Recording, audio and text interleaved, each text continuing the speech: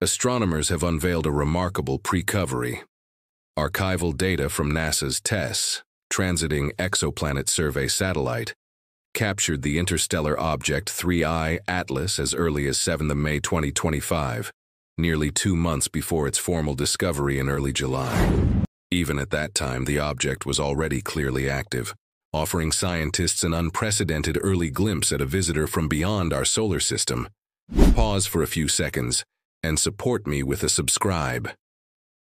TESS, primarily designed to detect exoplanets by monitoring stellar brightness fluctuations, isn't optimized for detecting faint, fast-moving objects like interstellar comets.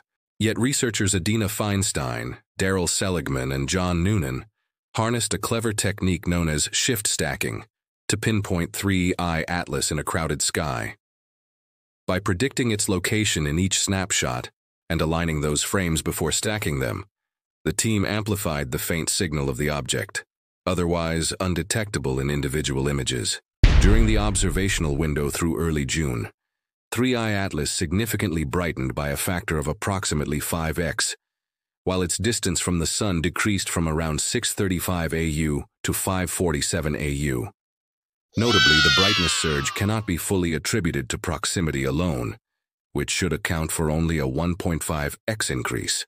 Instead, researchers suggest that the object underwent vigorous outgassing of hypervolatile compounds, such as carbon dioxide and carbon monoxide, materials that typically sublimate at greater distances than water ice, and are more common in interstellar materials. Attempts to determine the rotational period of 3I Atlas proved inconclusive, primarily because a surrounding coma likely obscured any surface features, masking periodic brightness changes. This precovery not only enriches the history of 3I Atlas, but also showcases how revisiting archival data can yield hidden discoveries. As astronomers continue to mine existing datasets from telescopes like TESS, Vera Rubin, and others, more insights into interstellar visitors, both past and future, may emerge. Comet 3I Atlas escaped from the thick disk of the Milky Way.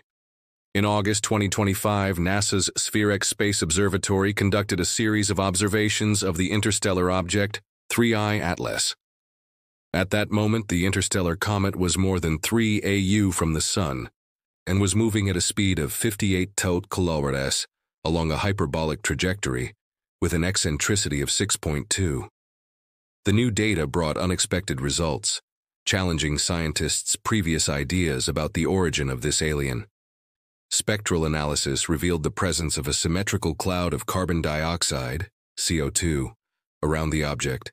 The rate of mass loss is estimated at approximately 70 kg However, another fact is much more important. No water in a gaseous state was found.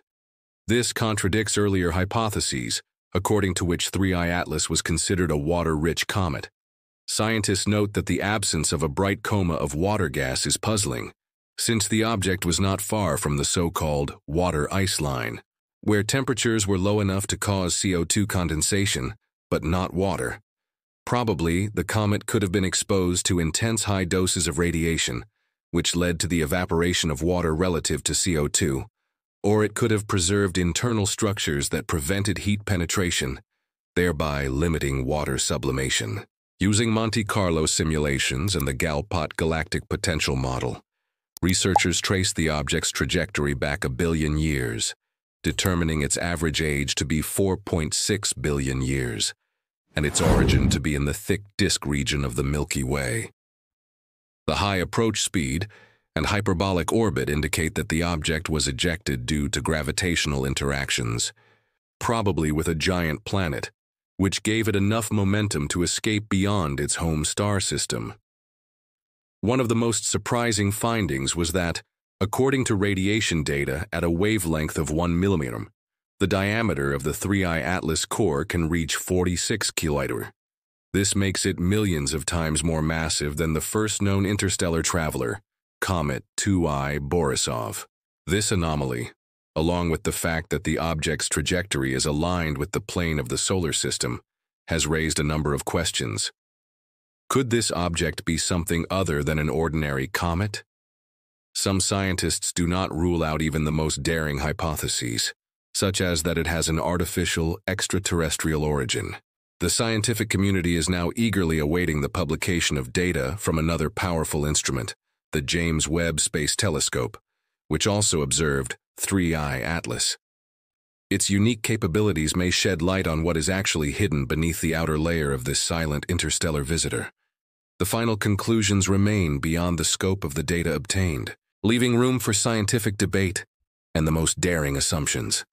Take a moment and give us a like for this video. Thank you so much. A new paper on spectroscopic data from the Very Large Telescope reported the surprising detection of nickel without iron in the plume of gas around 3I Atlas. Nickel without iron is a signature of industrial production of nickel alloys. This data constitutes a new anomaly of 3I Atlas. Natural comets generically show iron and nickel simultaneously, as both elements are produced together in the ejecta of supernova explosions. Is this anomaly another clue for a possible technological origin of 3I Atlas? The paper suggests chemical formation through the nickel-carbonyl channel, which is an extremely rare and exotic possibility in comets, whereas it is a standard technology for industrial nickel refining. The inferred mass loss rate of nickel for 3I Atlas is about 5 grams per second, at a heliocentric distance of 2.8 times the Earth-Sun separation, AU. It exhibits a dramatic rise with decreasing distance from the Sun, with a power law index of 8.43. The spectroscopic data on the plume surrounding 3I Atlas also reveals cyanide, CN, with a mass loss rate of about 20 grams per second at 2.85 AU, and an even steeper dependence on heliocentric distance to the power of 9.38. These results add to the chemical anomalies implied by the SPHEREX Space Observatory and Webb Space Telescope, which revealed that the gas plume around 3I to Atlas is dominated by mass with 95% of CO2 and only 5% of H2O, very different from an expected water-rich comet. The idea that the nucleus is much smaller than the 46-kilometer diameter inferred from the 1-micron data collected by SPHEREX, requires a dense coma of dust to reflect nearly all the sunlight from 3I Atlas. In that case, the dust would have been pushed by solar radiation pressure to trail the nucleus, constituting a prominent cometary tail. However, no cometary tail was observed around 3I Atlas in the Hubble Space Telescope image, which extended backward as much as it extended sideways, perpendicular to the direction of the sun. If, on the other hand, most of the sunlight is reflected by the surface of the nucleus, then 3I Atlas is a million times more massive than the previous interstellar object 2II Borisov. We should have detected a million objects of the scale of 2I Borisov before detecting a 46-kilometer nucleus, if 3I Atlas was a rock on a random trajectory.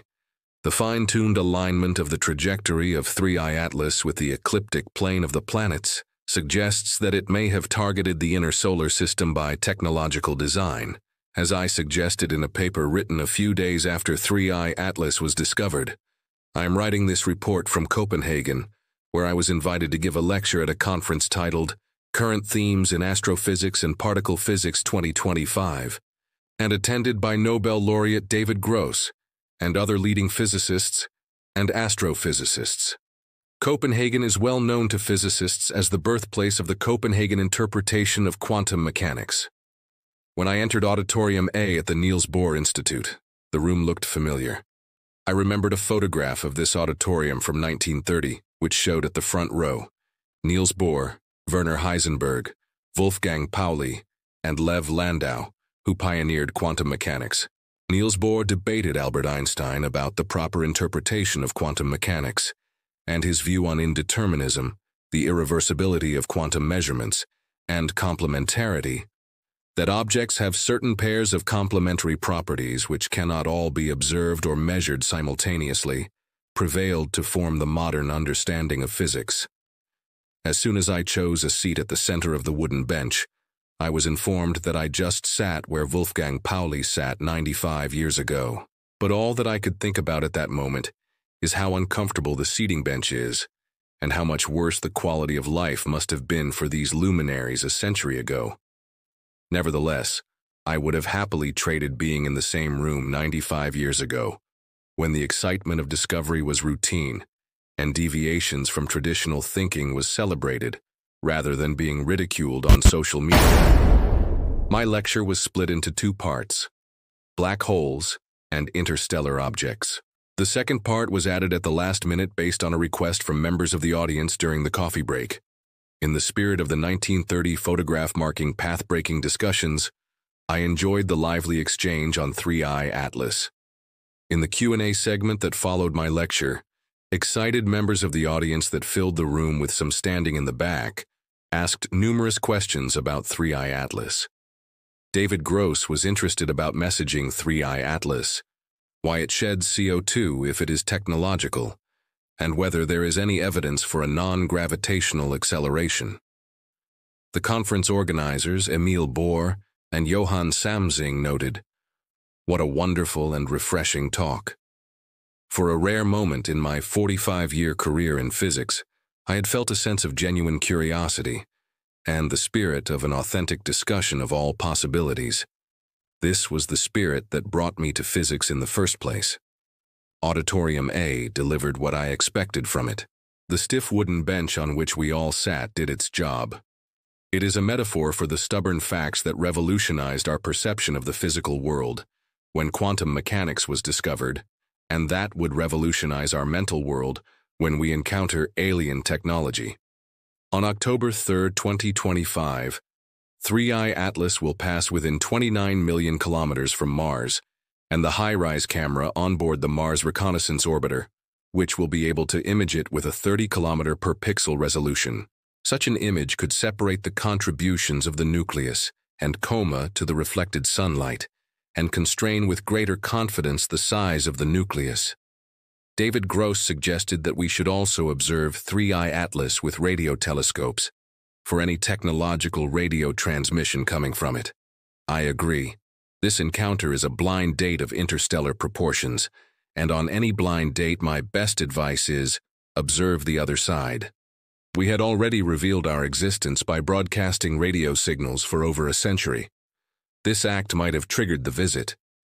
If 3i Atlas had originated from the inner edge of the Oort cloud, at about 1,000 times the Earth-Sun separation, it would have started its journey 80 years ago when radio transmissions became routine on Earth. The first nuclear explosion took place on July 16, 1945, exactly 80 years ago. On the one hand, I would be pleased if 3i Atlas turned out to be a CO2-rich comet, implying that humanity is not at risk from alien technology. But on the other hand, humanity desperately needs a wake-up call to avoid self-destruction. During the coffee break, the brilliant Alex Lupsasca told me about his recent mathematical discovery of three new symmetries in black hole spacetimes. After laboring to discover them, Alex asked ChatGPT to find these symmetries, and was shocked to find out that the latest version of this artificial intelligence system managed to accomplish the same task swiftly. He later verified with OpenAI that the AI system did not have access to his paper, as it was trained on older data. Perhaps superhuman intelligence is already among us. Of course, alien AI might supersede our own digital creations. If any future interstellar object will end up as technological technology, ranking 10 on the Loeb scale, we should be filled with gratitude for the universe, endowing us once again with a much-needed sense of cosmic modesty.